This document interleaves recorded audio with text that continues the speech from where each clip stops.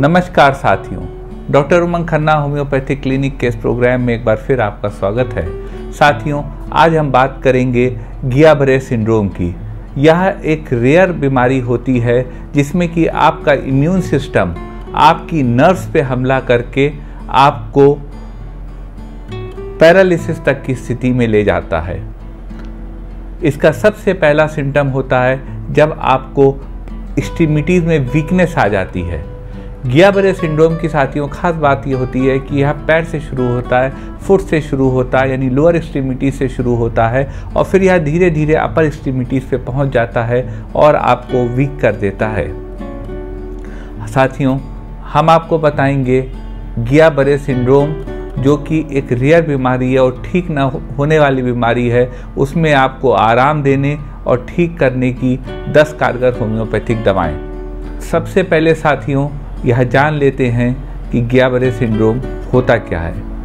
ग्याबरे syndrome साथियों जैसा कि अभी हमने बताया यह आपके नर्व की बीमारी होती है जिसमें कि आपका ऑटो इम्यून सिस्टम जो आपके बॉडी के बेसिकली इम्यूनिटी के लिए होता है आपको रहने के लिए होता है कभी कभी यह आपके नर्व्स पे अटैक कर देता है और नर्व्स पे हमला करके आपको वीक बना देता है। इस आ, इस सिंड्रोम की शुरुआत गियाबरे सिंड्रोम जो बीमारी है। इसकी शुरुआत आपके लोअर एक्सट्रीमिटी से होती है और यह ऊपर की तरफ़ बढ़ता है। इसका सबसे पहला सिम्टम साथियों, आपकी नर्व्स में टिंगलिंग और चुभन होता है और आपकी लोअर एक्सट्रीमिटीज़ में वीकनेस होने लगती है। तो यह गियाबरे सिंड्रोम है। अब जान लेते हैं साथियों, इसके सिम्टम्स के बारे में। कि कैसे आपको अंदाज़ा लगे कि ये आपको हो सकता है या हो रहा है या आपको डॉक्टर से मिलने की ज़रूरत है? साथियों, इसका जैसा कि मैंने बताया, इसका सबसे पहला और इंपॉर्टेंट सिम्टम होता है यह जब आपके पैर में टिंगनिंग और नीडल लाइक चुभन होने लगे तो यह आप समझ लीजिए कि कहीं कुछ गड़बड़ है, हमें डॉक्टर से मिलना चाहिए। इसका दूसरा सिम्टम होता है साथियों, कि आपकी एक्सट्रीमिटीज़ में बहुत वीकनेस आ जाती है, जो कि ऊपर की तरफ़ प्रोग्रेसिव होती है। इसकी तीसरी बात होती है कि आपका जो चलने का पॉस्चर है, वो वीकनेस के कारण इतना वो खराब हो जाता है कि आपको अटपटा लगता है और आप ज़रा सा ही काम करके बहुत अपने को वीक महसूस करने लगते हैं, अपने को कमज़ोर महसूस करने लगते हैं।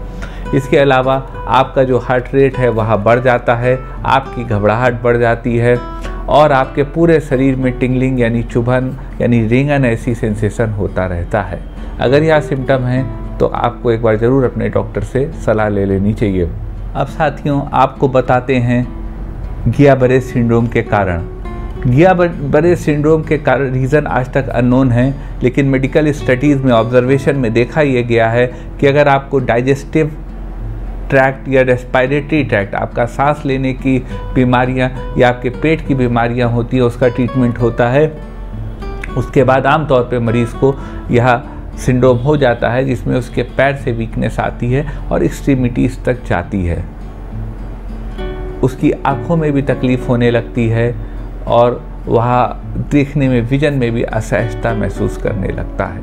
अब साथियों चलते हैं सफ़र पे। आपको बताते हैं गिया बरे सिंड्रोम से निपटने की, उसको ठीक करने की, उसको कंट्रोल करने की दस कारगर होम्योपैथिक दवाएँ। लेकिन उससे पहले साथियों, हम आपको बता देना चाहेंगे कि यह आपकी जानकारी के लिए कार्यक्रम है। कोई भी दवा बिना कुशल चिकित्सक से पूछे ना लें, क्योंकि हर दवा के अपने सिम्टम्स होते हैं और हो सकता है वो आपको वो सिम्टम न सूट करे जिस आधार पे हम दवा बता रहे हैं। इसलिए किसी कुशल चिकित्सक से आप ज़रूर जानकारी लेके दवा करें। यह आपके जानकारी के लिए कार्यक्रम है, जिसमें कि आप कम से कम इतना समझ जाएँगे कि आपकी बीमारी का इलाज है। चलते हैं साथियों, आपको बताते हैं होम्योपैथी में गियाबरे सिंड्रोम की 10 कारगर होम्योपैथिक दवाएँ। सबसे इंपॉर्टेंट दवा साथियों, जो गियाबरे सिंड्रोम की होम्योपैथी में आती है, नंबर एक दवा वह है इग्निशिया इग्निशिया अमारा।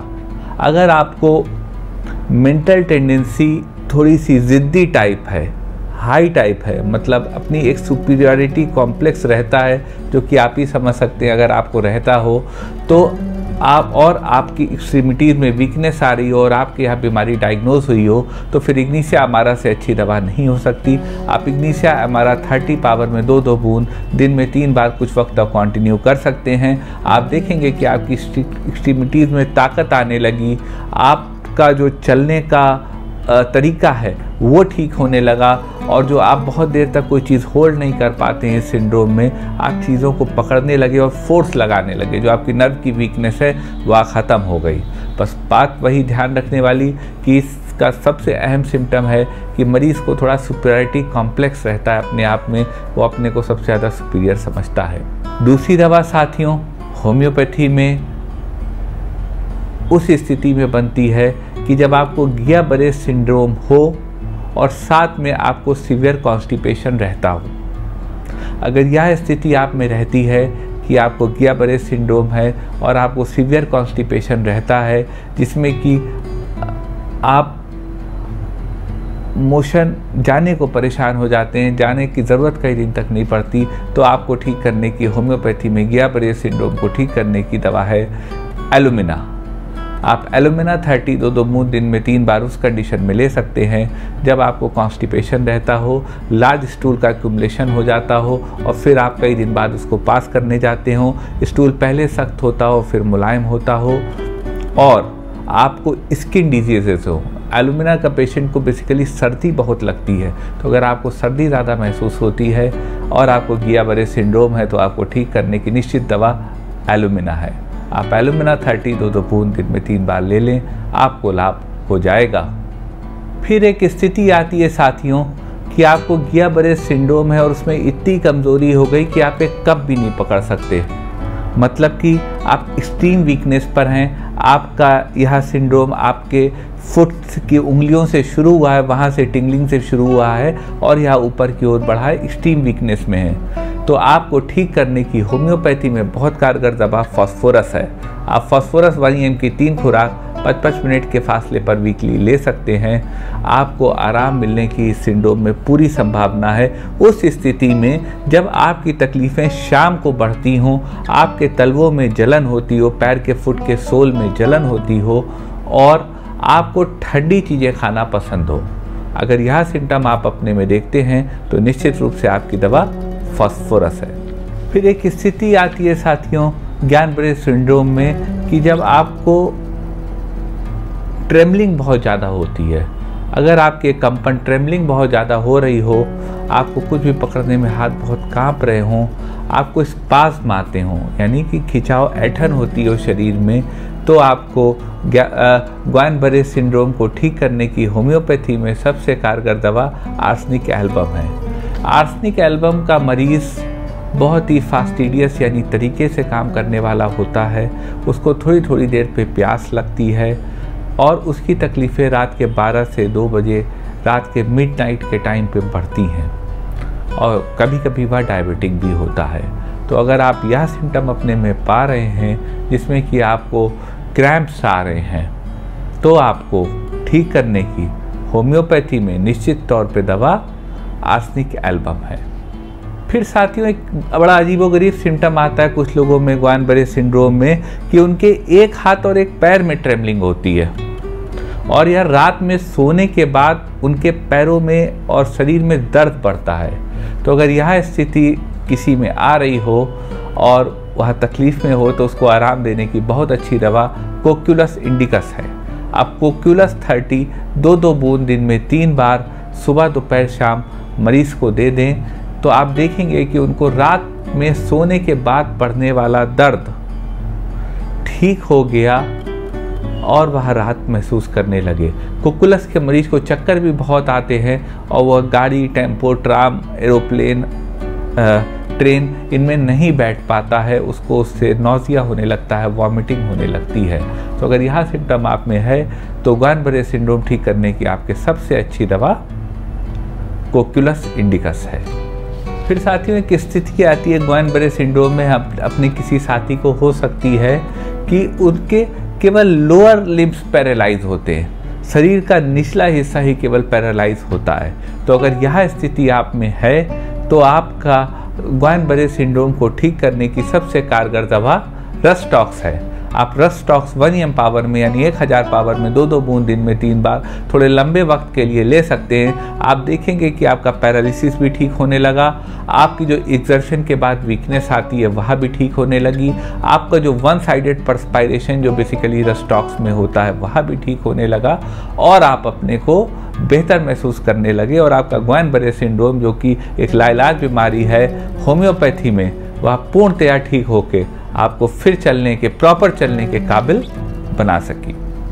फिर साथियों, एक स्थिति आती है गोयनबरे सिंड्रोम में किसी किसी को कि रात में जर्किंग होने लगती है। जब वो सोते हैं तो ट्विचिंग होने लगती है। अचानक एक हाथ पैर घूमने लगते हैं, ऐठन होने लगती है, वो एकदम से मूवमेंट्स होने लगते हैं। तो अगर यह आपके डायट सिचुएशन आपके सामने हो तो इसको ठीक करने की भी होम्योपैथी में दवा है और उस स्थिति में आपके ग्वैन बरे सिंड्रोम को भी ठीक करने की होम्योपैथी में दवा है और दवा का नाम है जिनकम मेट थर्टी जी हाँ जिनकम मिटालिकम थर्टी दो दो बूंद आप दिन में तीन बार उस कंडीशन में ले सकते हैं कि जब आपको ग्वैन बरे सिंड्रोम हो रात में आपके जर्किंग होती हो, आपको शॉक्स ऐसे महसूस होते हों और आप परेशान हो जाते हों।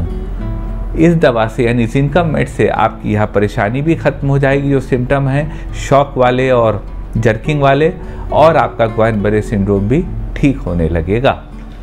फिर एक स्थिति आती है साथियों, जिसमें कि किसी को ग्वाइन बरे सिंड्रोम हो सकता है और उसको रात में पेशाब निकल जाती हो, पेशाब वो पलंग पे कर देता हो, रोज़ उसको डाइपर लगाना पड़ता हो, बांधना पड़ता हो। तो अगर वह स्थिति आ रही है कि रात में इनवॉलेंट्री यूरिनेशन हो रहा है और उनको ग्वैन बरे सिंड्रोम है तो उसको ठीक करने की होम्योपैथी में बहुत कारगर दवा कॉस्टिकम है। आप कॉस्टिकम हिनिमनाई थर्टी पावर में दो दो बूंद दिन में तीन बार मरीज़ को दे दें। आप देखेंगे कि उनका इनवॉलेंट्री मिक्चुरेशन यानी यूरिनेशन भी रुक गया और उनका ग्वाइन बरे सिंड्रोम भी ठीक होने लगा। फिर साथियों, एक सिम्टम आता है जो कि ग्वाइन भरे में वॉश करने वाला होता है कि बहुत तेज़ रैपिडली आपका लोअर एक्सट्रीमिटी से वीकनेस बढ़ी और पूरे शरीर में आ गई। तो अगर बहुत रैपिड रूप से आपके शरीर में इस तरह की वीकनेस आती है तो इसको ठीक करने की और जनरली भी ग्वाइन बरे सिंड्रोम को ठीक करने की होम्योपैथी में बहुत कारगर दवा कोनियम है। कोनियम वह दवा है जो सीधे आपके नर्व पे एक्ट करके आपके ग्वाइन बरे सिंड्रोम को ठीक करने में मदद करती है। अगर आपको ग्वाइन बरे सिंड्रोम है और आपके सिम्टम्स बहुत रैपिडली असेंडिंग टाइप ऊपर की तरफ़ प्रोग्रेस हुए हैं from foot to upper extremities तो आप कोनियम वन एम की तीन खुराक पाँच पाँच मिनट के फासले पर वीकली ले लें। आप देखेंगे कि आपका ग्वाइन बरे सिंड्रोम ठीक होने लगा। फिर साथियों, एक स्थिति आती है ग्वाइन बरे सिंड्रोम में कि जब आपके बहुत वीक हो जाते हैं तो अगर ग्वाइन बरे सिंड्रोम का पेशेंट है और वह बहुत वीक हो गया है, कमज़ोर हो गया है तो उसको ठीक करने की होम्योपैथी में बहुत कारगर दवा और नर्व्स में जान फूकने की बहुत कारगर दवा प्लम्बम मिटालिकम है। आप प्लम्बम में थर्टी दो दो बूंद दिन में तीन बार उस मरीज़ को दे सकते हैं, जिसको कि बहुत वीकनेस आ गई हो और उसको एमिसिएशन यानी कि उसका वेट लॉस हुआ हो और उसको कॉन्स्टिपेशन रहता हो। तो यह दवा प्लम्बा मेट थर्टी आपको इन तीनों सिम्टम से ठीक करके ग्वाइन बरे सिंड्रोम से ठीक करके आपको स्वस्थ जीवन जीने में मदद करेगी। फिर साथियों, एक कंडीशन आती है ग्वाइन बरे सिंड्रोम में कि आपकी रीढ़ की हड्डी में बैक में चलन होने लगी और चुभन होने लगी। तो अगर आपके जो बॉडी में चुभन हो रही है ग्वाइन बरे सिंड्रोम में, उसमें चुभन के साथ आपको चुभन के साथ आपको उसमें जलन भी होने लगे। स्पाइन में जहाँ से सारी नर्व्स पास होती, क्योंकि यह सिंड्रोम में आपकी नर्व्स पे ही आपका इम्यून सिस्टम अटैक करता है। तो अगर वह स्थिति हो तो उसको ठीक करने की होम्योपैथी में बहुत कारगर दवा एसिड पिक्रेटम है। आप एसिड पिक थर्टी दो दो बूंद दिन में तीन बार ले लें। आप देखेंगे कि आपका स्पाइन की जो जलन हो रही है, रीढ़ की हड्डी में जो जलन हो रही है, वह ख़त्म हो गई और आपका ग्वाइन बरे सिंड्रोम भी ठीक होने लगा। एक साथियों स्थिति आपके सामने आ सकती है कि जब आपको इन सारी बताई दवाओं से फ़ायदा ना हो रहा हो कहीं से फ़ायदा ना हो रहा हो सारी दवाएँ आप ले चुके हो होम्योपैथी की भी सारी दवा ले चुके हो और आप ठीक ना हो रहे हो। उस स्थिति में भी आपके पास एक उम्मीद की किरण है और वह है का, कार्सिनोसिन दवा।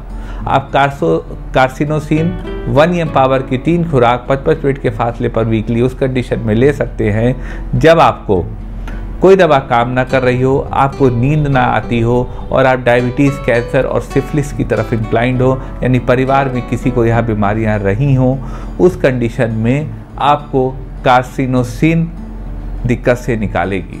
ये साथियों, कुछ दवाएँ थीं ग्वान बरे सिंड्रोम के।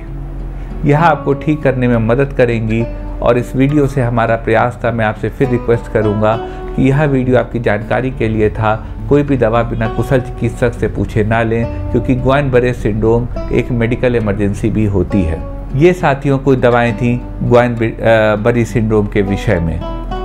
साथियों, एक बार फिर हम आपको बता दें, यह दवाएँ आपकी जानकारी के लिए है। कोई भी दवा बिना कुशल चिकित्सक से पूछे ना लें, क्योंकि ग्वाइन बरे सिंड्रोम एक मेडिकल इमरजेंसी होती है। अगर साथियों, आपके मन में कोई सवाल हो, कोई क्वेश्चन हो तो आप YouTube नोटिफिकेशन पैनल में अपना सवाल लिख सकते हैं या फिर हमारे व्हाट्सएप नंबर चौरानवे पंद्रह सात सौ छियासी तीन सौ अस्सी nine four one five seven eight six three eight zero पर आप अपनी क्वेरी को व्हाट्सएप कर सकते हैं। हमें आपके सवाल का संतोषजनक जवाब देने में बड़ी खुशी होगी। अगर आपको यह वीडियो हमारा पसंद आया हो साथियों तो वीडियो को लाइक करिएगा, अपने चैनल को शेयर करिएगा और बेल नोटिफिकेशन बटन दबा के सबसे पहले सबसे नया वीडियो पाते रहिएगा। आपका हमारे साथ इतनी देर रहने के लिए, साथ देने के लिए, सुनने के लिए आपका आभार, साधुवाद, धन्यवाद।